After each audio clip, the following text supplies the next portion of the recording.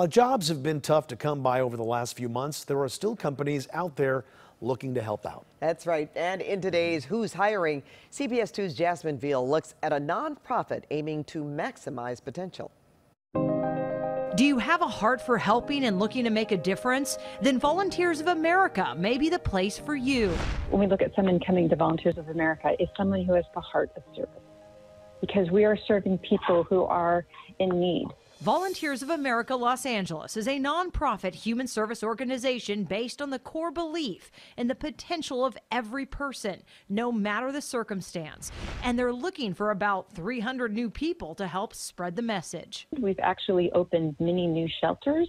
So we've had to quickly staff up. We have a lot of entry level jobs like case management as a case manager. As you get experience, and decide to pursue education, you can follow what's called a career ladder. We have stages all along the way for people to grow up in that career.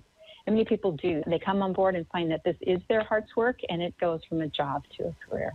And they're looking to fill these positions yesterday. You go to Volunteers of America, so it's V-O-A-L-A dot org slash careers.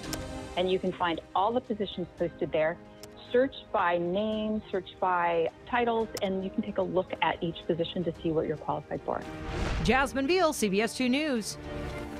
And if you want to share job openings, we can help you. Just go to cbsla.com slash who's hiring.